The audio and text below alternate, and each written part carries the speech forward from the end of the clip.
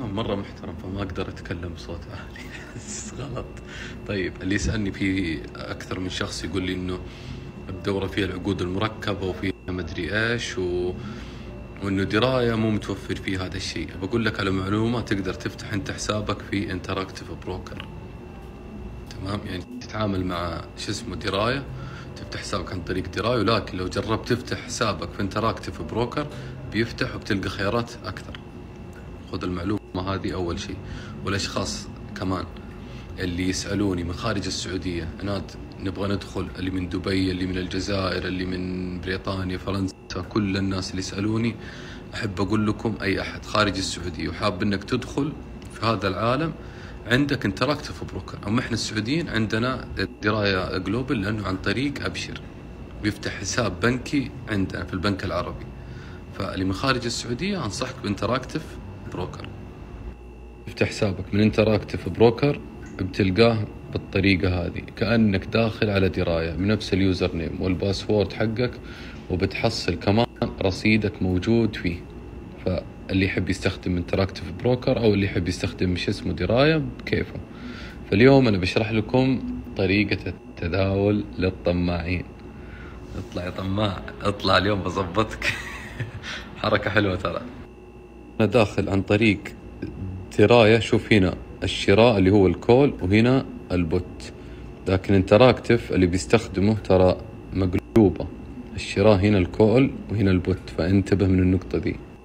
من ناحية Interactive Brokers ال call هنا وال put هنا. تمام؟ فأنت انتبه لما تتداول من ناحية ال call وال put. شوف هنا ال put وهنا ال call. أما في دراية العكس.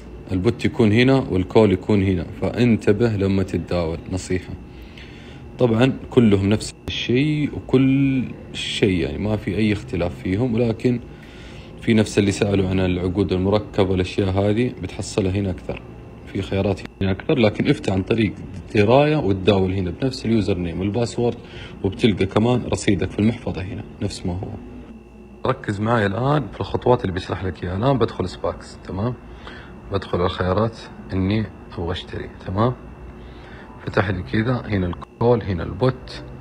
فأنا أجي مثلا أبغى آخذ ال strike هذا واخذ العقد هذا. مشاهدة أضيف أول شيء في قائمة المراقبة تداولاتي. بعدين أجي أبغى أشتري. أسوي شراء. أختار مثلا هنا الكمية عقدين ثلاثة أربعة زي ما نحب. سعر الحد إحنا قلنا تقدر تحدد وهنا تجيك ترى أسعار زي مثلا السوق مدري إيش الأشياء هذه خليها دائما على الحد وأنت حدد يدوي. فأنا أختار هنا مثلا يدوي باخذ مثلا بالرقم هذا وبروح مثلا مقفل. وشرحنا هنا اللي بيحط تحصيل ربح فإحنا نسوي إنه خلاص نقفل ونخليه ينفذ الأمر. على قائمة المراقبة بتلقى فيه مكتوب الصفقة واحد. يعني أنت عندك عقد من هذا آه من العملية هذه إنه أنت عندك عقد واحد. تمام؟ طيب برضو بتلقاها موجودة عندك في المحفظة إنه عندك عقد واحد هنا وكم أنت ربحان فيه والربح والخسارة اليومية. كمان تدخل على قائمة المراقبة. طيب ندخل هنا على المزيد الأوامر التداولات. الأوامر الأشياء اللي ما تنفذت. أنا قلت له أعطيني ثلاثة عقود لكن هو نفذ لي واحد. التداولات اللي الآن أساسا موجودة. شايفينها؟ اللي فعليا موجودة. فأنا مثلا الأوامر التداولات أحاول أني أنهيها دائما أول بأول أو أني أكون يعني مركز عليه عشان ما ينفذ لي أمر وأنا نايم ولا أنا أسوق ولا أنا مثلا أعطيت أمر ونسيته فمثلا لو ما أبغى الأمر هذا أدخل أسوي له إلغاء الأمر. شوف الآن أنا ما عندي شيء سواء بالبيع أو الشراء أو شيء. حين أدخل التداولات أرجع للأوامر. الشيء اللي أنا أبغى أشرحه لكم إنه الآن تدخل على بيع. أحيانا اللي ما يبيع معاه معاه شيء يلقى هنا في أوامر.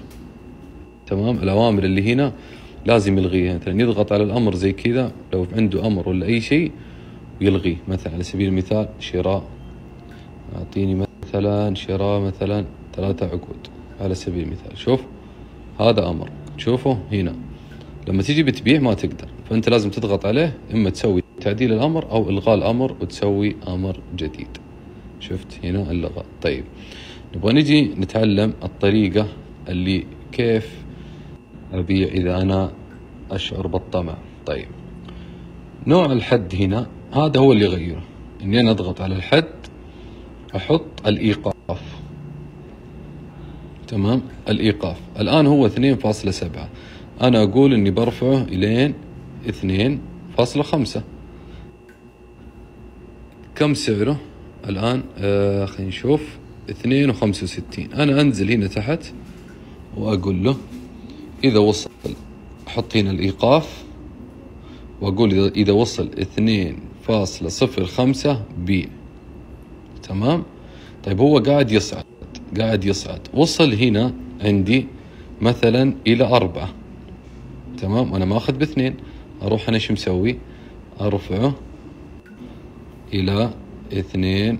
يا أخي أرفعه إلين ثلاثة. وأعطيه أمر. شايف؟ هنا صار عندي الأمر. هذا وصل سبعة مثلا. قاعد يرتفع. أجي هنا وأحط تعديل الأمر وأخلي الأمر هنا إيش؟ بدل ما هو ثلاثة أخليه ستة. شايف؟ أنا قاعد أمشي معاه بحيث إنه لو ارتد نزل يبيع لي على إنه لو ارتد نزل على طول بيبيع لي على ستة. وأعدل الأمر. شوف.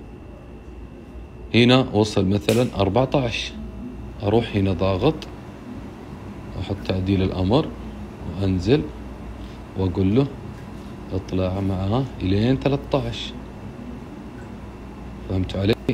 يا رب إنكم فهمتوا يا رب. هنا صار مثلا 14 يصير لما هو يرجع ينزل يبيع لي على طول على كم 13 فأنا كذا كذا أنا ضامن الربح وأنا ماشي معاه أنا أمشي معاه وضامن الربح. الآن لما أنا مثلا أخذت العقد بثلاثة أنا أحط وقف الوقف حقي على اثنين. طيب. العقد ارتفع وصل لين خمسة. أنا أرفع الوقف أعدل الأمر أخليه لين أربعة. بمعنى أنه لو نزل لين أربعة راح يبيع لي على طول. وأحيانا ينزل ويرجع يطلع فيكون باع لك ومشي تمام؟ تجيب لك ممكن قهر كذا. مثلا لو وصل إلين عشرة أرفع معاه إلين ثمانية ولا تسعة بحيث أنه لو نزل أنا ضامن الربح فأمشي معاه بالطريقة دي. لكن الطريقة اللي علمتكم إياها أمس حركة العقد أحيانا تروح وترجع في لحظات أنت ما تشوفها بعينك. فعليا أنت ما تشوفها بعينك. يعني حتى لو أنك مراقبه زي كذا يتحرك بسرعة.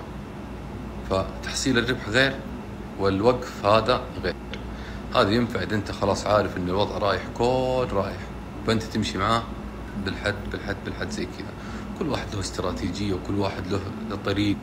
ترى له استراتيجيته وطريقته واموره يعني كل واحد يدير محفظته بمزاجه. في ناس يشتغل على تحصيل الربح في ناس يشتغل على إيقاف الخسارة في ناس يبني استراتيجيات.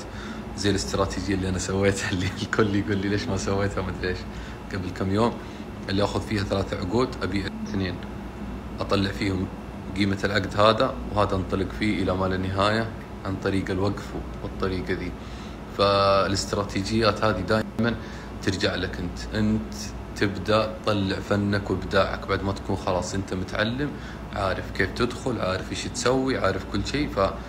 فهنا بيطلع إبداعك. فلازم نخرج ننبسط سلام.